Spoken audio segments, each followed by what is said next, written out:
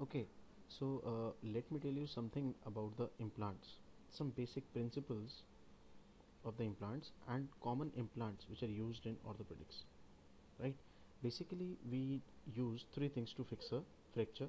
Either you can use a plate you can use a intramedullary nail or you can use a external fixator.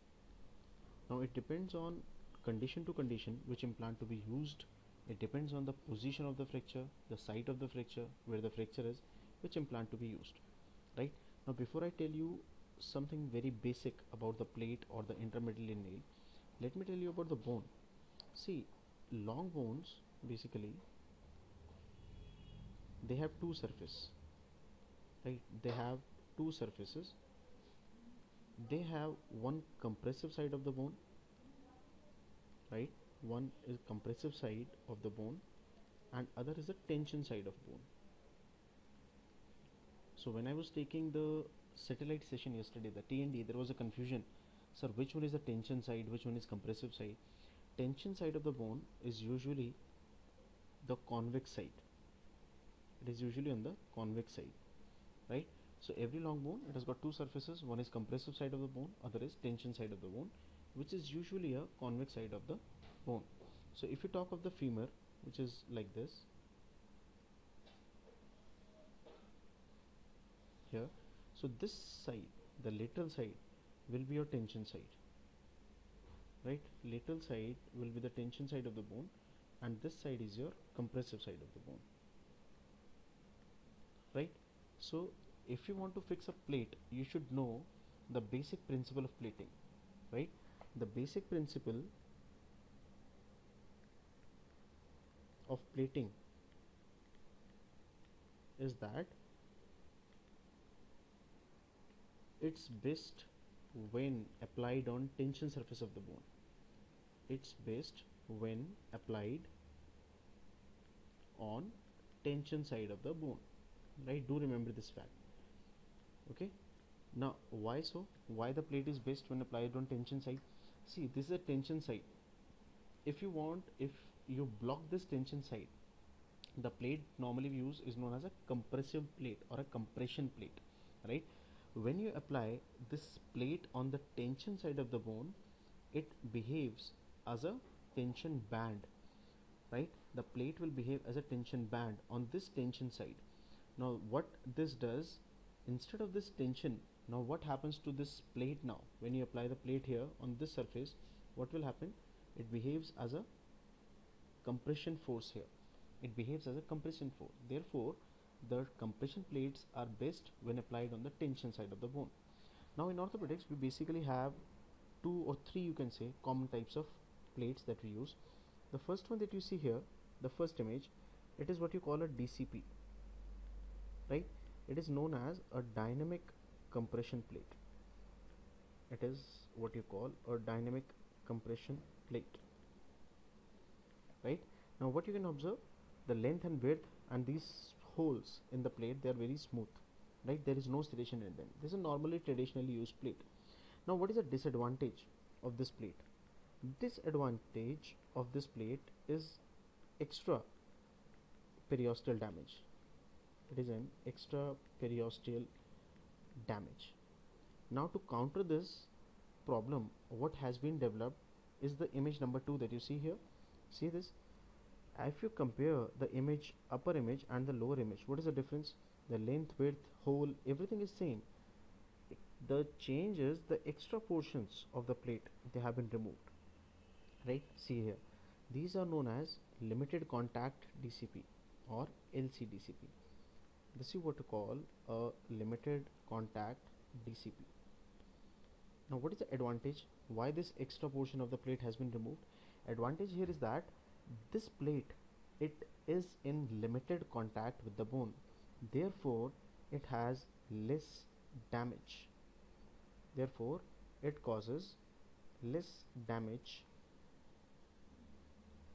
to the periosteum. That is why this plate has been designed the limited contact. So full plate is not in contact with the bone. It is a limited area of the plate which is in contact with the bone.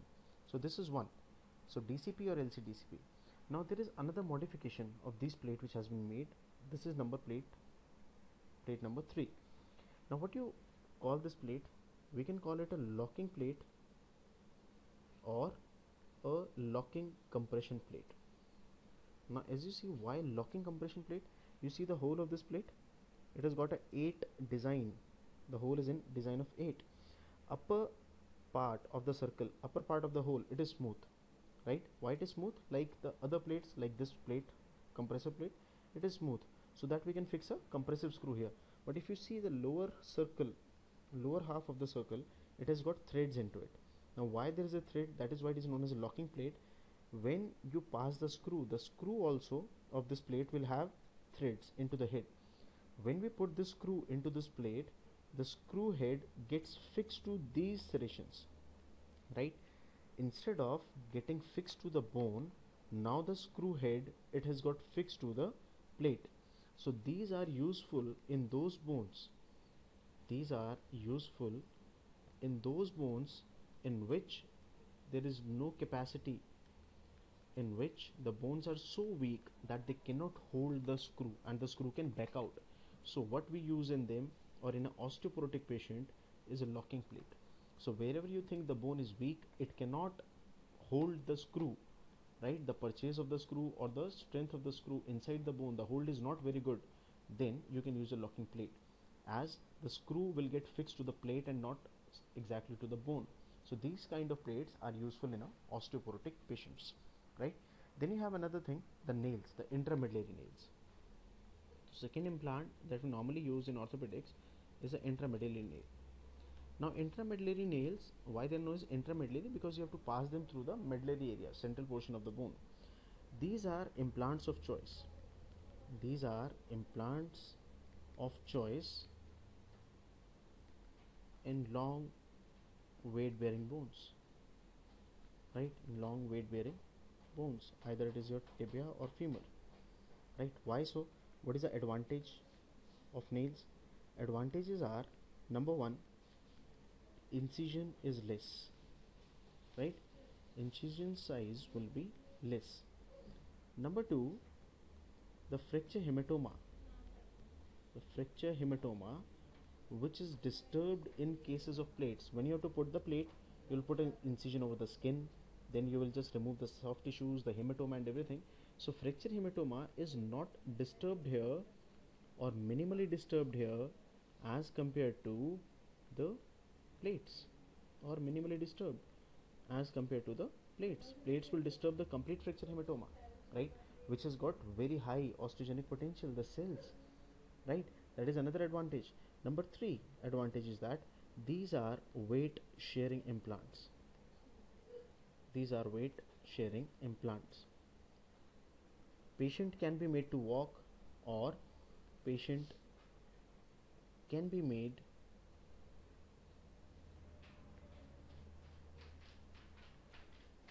patient can be allowed to stand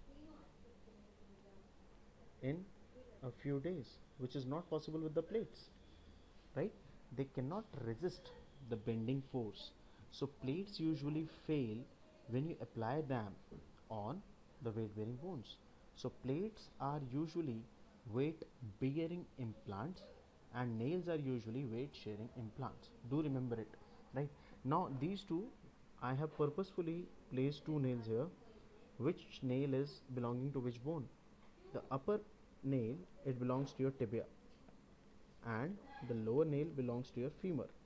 This nail that you see in the image is what you call a PFN PFN stands for proximal femoral nail. This proximal femoral nail right? And this one upper one is a tibial nail remember tibial nail they have got angulations. And femoral nail they have got a curve. As per the curve of your thigh bone the femur right? So this is just a base about the nails and the plates. Do remember it. This question has already been asked in your PGI exam